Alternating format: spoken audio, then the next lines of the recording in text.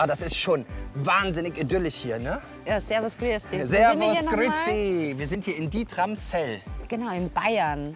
Und was genau suchen wir hier? Wir schauen uns heute Jahres? einen bayerischen Kosmopolit an. Ja, und beim bayerischen Kosmopoliten denkt man ja wirklich nicht hier an diese Gegend, oder? Hier ist alles so urig und gemütlich. Kosmopolit klingt so modern. Aber es macht es ja auch schon wieder spannend, weil dann ist es ja für uns einfach zu finden. Und ich sage dir, ich weiß auch, wo es lang geht. Gib mir mal die Hand.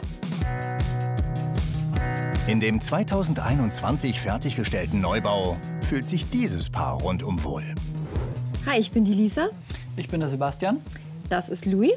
und das ist unser bayerischer Kosmopolit. Besondere an dem Haus ist wirklich auch der Ansatz, wie geht das Haus mit dem Außenraum um, mit der Natur. Auf der anderen Seite, dass es sehr kosmopolitisch ist, so vom Lifestyle, wenn man nur so innen drin mal rum sieht und das Glas, dann könnte man auch denken, okay, es ist in Kalifornien. Auf der anderen Seite von außen merkt man, okay, wir sind in Oberbayern.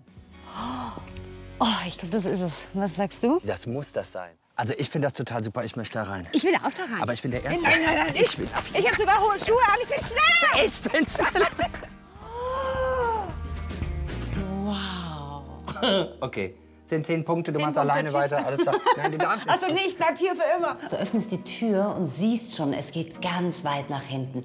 Du hast eine riesengroße Glasfläche, die dich ins Grüne blicken lässt, bevor du dich auf den Garderobenbereich fokussierst, der auch wunderbar und stimmig in dieses ganze Haus eingeflossen ist, möchte ich schon fast sagen, weil diese Einbauschränke und Wände sich perfekt mit diesem Beton und mit diesem Boden, es hat alles so schön harmoniert. Oh, die perfekte Küche. Interessanterweise bin ich eigentlich normalerweise gar kein Schwarz-Fan. Außer du trägst schwarz. Aber so in der Wohnung. Und ich finde aber, es passt so harmonisch und so perfekt zusammen. Das Holz, der Stein, das Schwarz. Was für eine Traumküche. Die indirekte Beleuchtung, die Schlichtheit, dieses cleane, sehr, sehr, sehr schicke Ambiente, das fand ich ein Traum. Ich empfinde das auch als geschmackvoll und elegant Mhm. und schlicht. Aber ich finde es auch echt ein bisschen, dass ich das Gefühl habe, ich könnte jetzt auch umswitchen und sagen, sag mal Schatz, möchtest du die Küche kaufen? Ich fand das ein bisschen drüsch, also ein bisschen trocken. Diese Glasfront. Oh, dieser Kamin. Oh nein, ich liebe es. Oh, ist das schön. Das hat so was Gemütliches. Einfach deshalb, weil du diese riesen Glasfronten hast und du guckst nur ins Grüne. Ich finde es einfach richtig kuschelig. Du findest das gemütlich? Ja, guck dir das mal an. Du musst dir vorstellen, da ähm, lagen jetzt Materialien auf dem Tisch. Das waren jetzt fünf Stück. Und mit den fünf Materialien wird gesagt, damit baust du dir dein Haus. Und wenn du jetzt überlegst, das wäre dann Beton, Holz und auch Metall. Und dann hat sich auch noch festgelegt bei den Farben. Dann hast du halt gesagt, ich nehme Grau und Schwarz. Und das ist das, was so in das Haus reingeflossen ist. Mir fehlt da echt noch ein bisschen so was anderes. Ein Highlight befindet sich außerhalb. Der Innenhof mit zwei Pools und einem Baum, der in das Gebäude hineinzuwachsen scheint. Wie schön ist das denn bitte? Wahnsinn. Der Pool, der Pool, die Terrasse, der, oh, der Baum. Ich finde diesen Baum, diese Idee, den hochwachsen zu lassen aus diesem Garten, ein Traum. Und das ist eben auch etwas, was du aus dem Wohnzimmer aussiehst. Im Außenbereich gibt es zwar viel zu sehen, dennoch geht es für die zwei erstmal im Haus weiter. Und zwar im Obergeschoss. Ich dachte, man kommt da jetzt hoch und ist alles super groß und loftig. Ja. Aber eigentlich ist das sehr eng. Der Blick in die Natur lässt das allerdings schnell vergessen. Oh mein Gott. Oh Gott, ist das schön. Dieses Schlafzimmer fühlt sich an wie ein Baumhaus. Dieser Baum, der von unten hoch wächst, gibt dir da oben das Gefühl, dass du geborgen bist. Dieses Spiel mit dem Glas, die Lichter, die Wärme und diese Gemütlichkeit, die hat mich komplett umgeworfen. Du hast halt hier außen noch mal einen Gang. Oh nein, es ist eine Scheibe. Oh, hör auf. Hat sich erschreckt, ne? Ja, Da haben wir den Lieblingsplatz. Die beste Aussicht auf den Garten, auf das Wasser, auf das viele Grün, auf diesen schönen Baum. Ich verstehe das total. Freie Sicht bedeutet von der anderen Seite meist auch freie Einsicht. Das wird im Badezimmer besonders deutlich.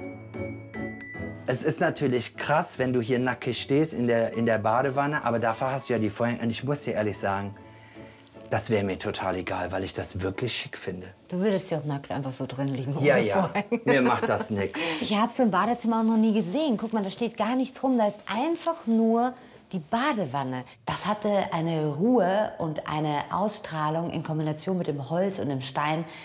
Das war ein ganz wohliges Gefühl. Man konnte sich richtig gut vorstellen, wie das ist, abends in einer Wanne zu liegen und die Seele baumeln zu lassen. Und falls den Besitzern mal nicht nach Baden zumute ist, gibt es nebenan eine großzügig gestaltete Duschkabine. Das ist wirklich Bali-like. Ja, das ist wie im Spa. Stell dich doch mal hier hin. So. Nee, nee, nee. Lassen Sie mich in Ruhe. Wer sind Sie? Ich kenne Sie nicht. Die zweite Etage hat mir definitiv besser gefallen. Das ist eher so, wo ich mich mit vereinbaren kann. Aber ich habe hier auch einfach einen anderen Blick und ich habe so das Gefühl, ich bin einfach zu allen Seiten wirklich offen. Und es hat eine Ruhe, eine Geborgenheit, eine Ausstrahlung, eine Wärme.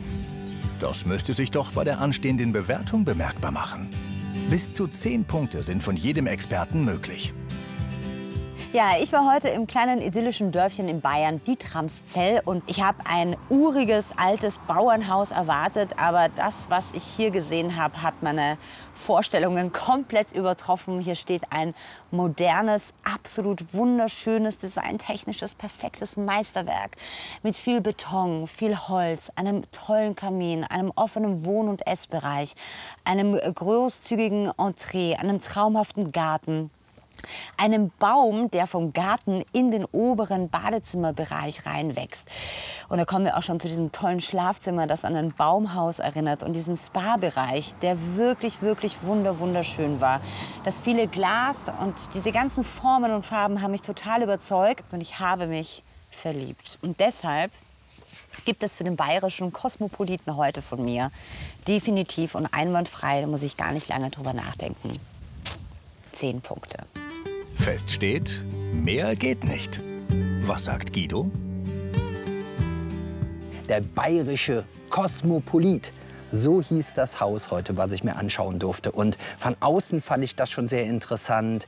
Und auch die ersten Schritte in den Eingangsbereich haben mir schon wirklich gut gefallen. Auch Küche, Essbereich und Wohnzimmer waren wahnsinnig schön gestaltet. Es waren tolle Materialien verarbeitet und vor allen Dingen auch gut verarbeitet.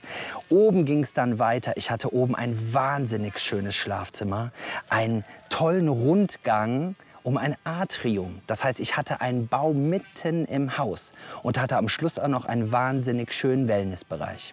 In dem unteren Bereich, ich hätte mir da ein bisschen mehr Farbe gewünscht. Aus dem Grund gebe ich dem trotzdem wirklich sehr schönen Haus neun Punkte. Damit sind es 19 Punkte, die in Haus Nummer 3 einziehen.